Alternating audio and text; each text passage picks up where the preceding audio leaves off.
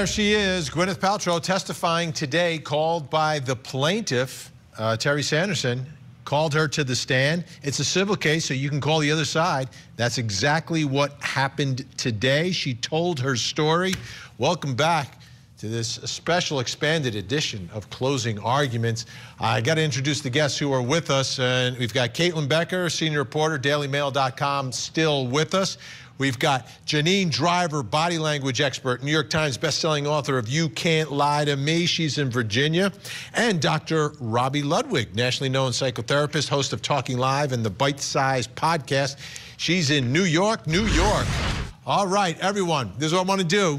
Uh, Janine, you ready? I'm going to play some testimony. Gwyneth Paltrow.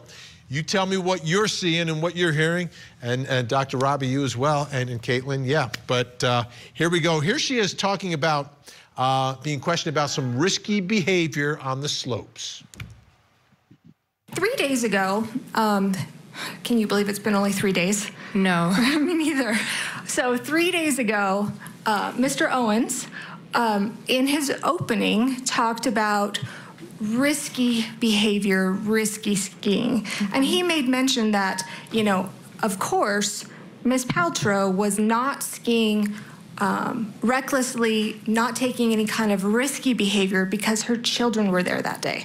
Do you recall him saying that? I think it does misstate my testimony, but. Well, it wasn't testimony that you stated. My, my uh, argument. Can you answer the question? Let's if I remember what he said? No, just maybe do you agree with that? That on that day of the collision, you were not engaging in any, in any kind of risky behavior, especially Correct. because your kids were there. I was not engaging in any risky behavior. Okay, but also, and I think your counsel made mention of this in opening, that especially because your children were there. I don't recall him saying that. All right. Well, did your children being there um, make it so that you especially would not engage in risky behavior? I, I didn't engage in risky behavior. I, I wouldn't with my children there or without my children there. Okay. And kind of in life. I mean, I'm a mom, right? I've got a couple kids, um, actually about your age, and one of them, not your age, your, your daughter's age. Sorry, I'm not that old. Um, when my kids are around, I kind of behave myself a little bit better, especially when they were younger, mm. than on average. Would you agree with that? I, I've always been very open and honest with my kids, mm-hmm. and um, some I, I think, you know, they know me very well. Mm-hmm. Right. And would you agree that you have engaged in risky behavior with your children present? All right, uh, Janine, what are your thoughts about Gwyneth here on the stand? First of all, I was a little surprised because I was thinking I was going to get a liar up here and the pants were going to like burst up into flames today uh, because of the opposing witnesses. Uh, and I'm going to tell you, I believe that she thinks she's telling the truth. I think you found the only clip where she's actually likable on the stand. Um, smiling and laughing and having some rapport. You know, like I, I the, the, TV screen almost broke when the smile came out here. I think they have great rapport. Um, she blinks a lot here, and this is indicative anyway with someone in court, increase in stress and anxiety. The average blink rate is about 15 to 16 uh, blinks per so, minute. So you're, you're seeing stress. You're seeing stress despite the fact that she's coming off to us, not reading those clues as very poised and composed here. She is. She's coming across poised, composed, likable. She smiles. When she smiles, it makes us smile, makes us like her. I don't find her a likable person in general, but you found the, the only clip, I think. Um, this interaction in this score is really, really great.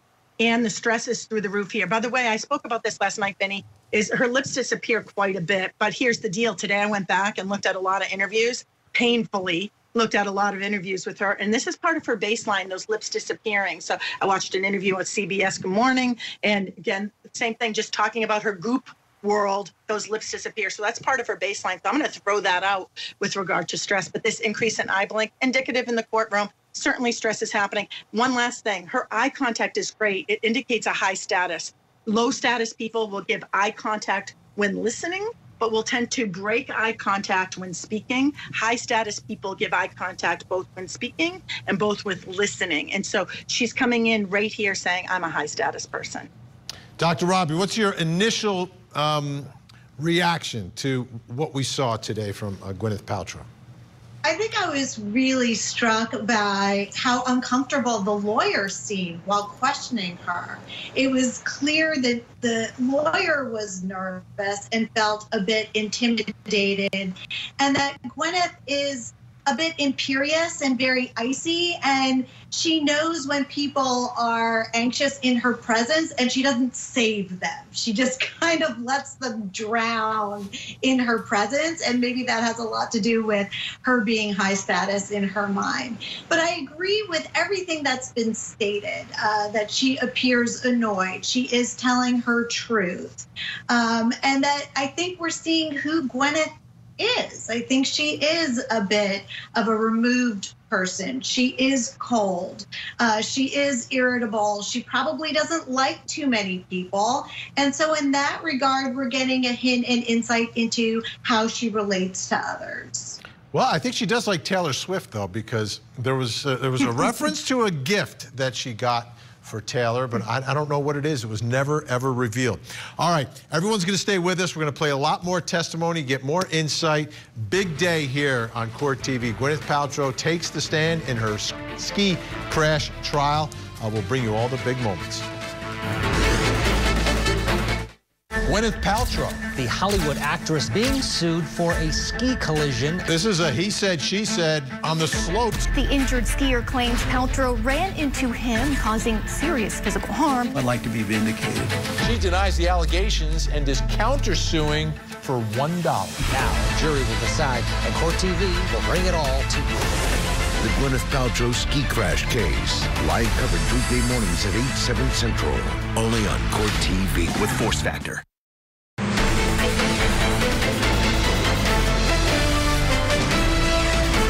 Was confused at first and I didn't know what, exactly what was happening. It's a very strange thing to happen on a ski slope. Um, and I, I, I agree. I, and I froze, and it, I would say I was got very upset a couple seconds later. Okay, let me just continue on here. I just want to make sure that I got this all right. I didn't know if it was an intentional assault of a sexual nature. Right. Okay. Um, was he grinding and thrusting or something, or just the noises? What's what? What made you think it was a an, a sexual assault? So that was a quick thought that went through my head when I was trying to reconcile what was happening. I was skiing, and two skis came between my skis, forcing my legs apart, and then there was a body pressing against me and there was a very strange grunting noise. So my brain was trying to make sense of what was happening.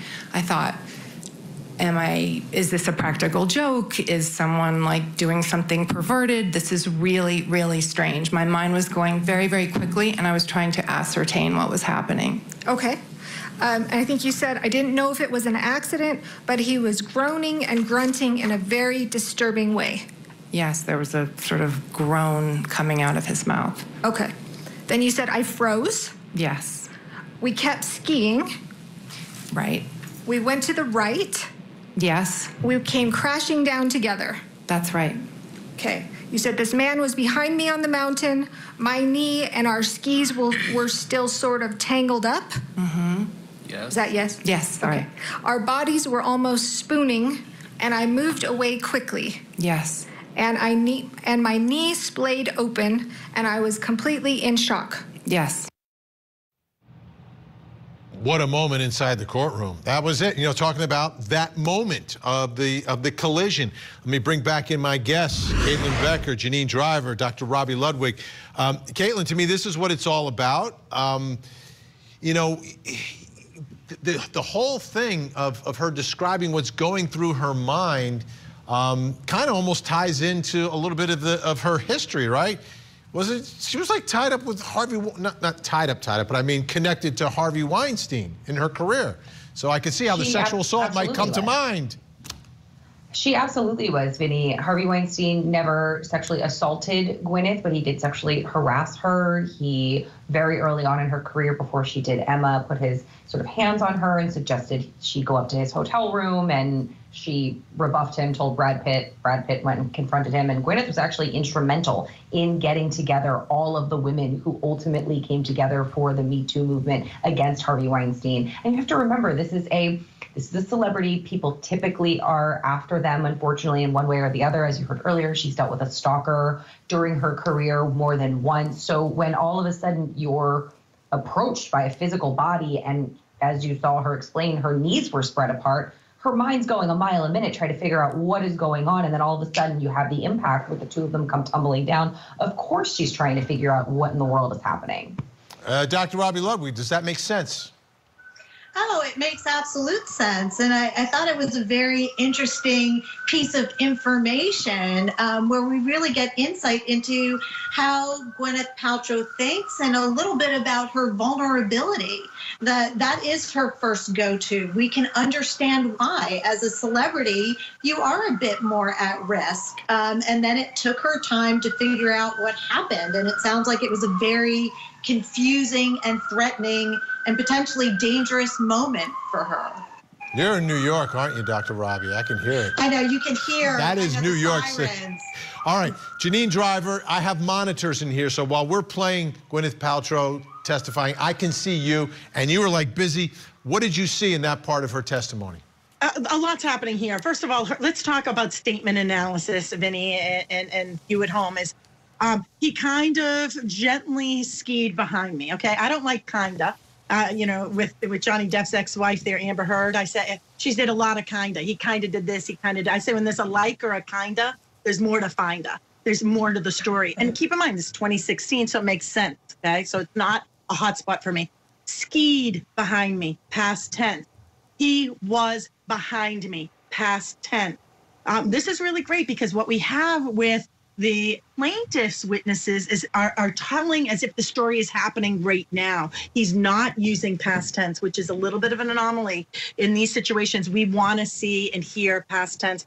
The the hot spot though for me that makes her a little less believable. I do believe she believes she's telling the truth. Now whether this really happened or not, who knows at this point. But here's the problem. Remember Jussie Smollett, that guy, that real that peach out of Chicago that staged a hate crime. Remember him? He's a real peach. We don't have enough hate in the world when he would tell his story, right? He never looked her behind. He didn't say, you know, um, this guy came and, and said this to me and then punched me in the back.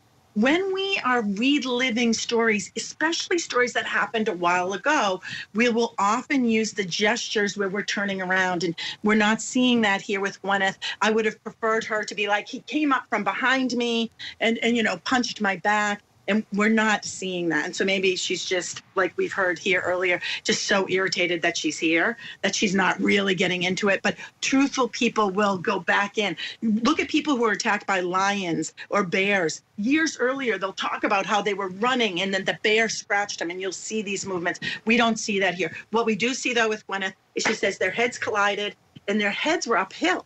This is interesting to me, Vinny, because why? Who cares if they're uphill or downhill? She could have just said, Well, I don't really remember that part. No, she stuck to her guns. No, our heads were uphill because she stuck to her guns here and because she's telling us she thought that maybe someone was attacking her makes me believe her even more. I believe her. I wasn't coming in as uh, I know uh, with a lot of hope. Skeptical. I wasn't coming in. skeptical. All right, our guests are staying with us. More testimony, more analysis. Don't go anywhere.